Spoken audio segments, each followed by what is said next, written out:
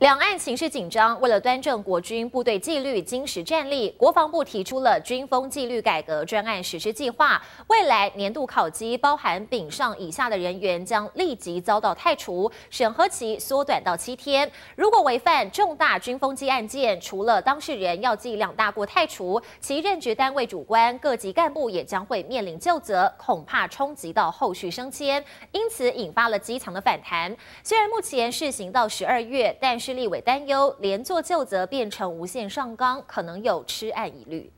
为了端正纪律，国军下猛药。国防部近期提出纪律改革专案实施计划，被称作史上最严格。其中直接载明考级丙上以下直接汰除，最快作业时间七天内就得直接打包走人。任何加强军纪的措施。我认为国人都应该啊予以支持。连坐呢，这个要看他是不是附带有督导的责任。严禁军纪，朝野一致肯定。但计划中包括国军遇到重大风纪事件，酒驾、吸毒、性骚扰等，一律记两大过，启动汰除程序。相关主官、士官、督导长晋升派职也会受影响，等于是重启连坐法，引发基层强烈反弹。虽然目前先试行到十二月，但连执政党立委都不太支持，有可能会去影响到。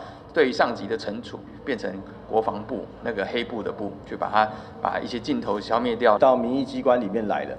每一个案件哦，我讲真的都会被无限上纲，会很严重的打打击到国军官兵的士气。除了人员素质，国军也提升硬体设备，因后备军人较招年训量由十二万人提升至二十六万，后备指挥部及陆军将再增加八个训练基地作为训练场。在台海局势紧张的这个时候，就跟这些问题其实都是一样的答案。社会的各个阶层哦，其实有时候有应该做一点演习啊。两岸情势紧张，军方大刀阔斧改革，但若因连做法。而无法专精训练，反而造成反效果，就得再三思。借战春吴强三台报道。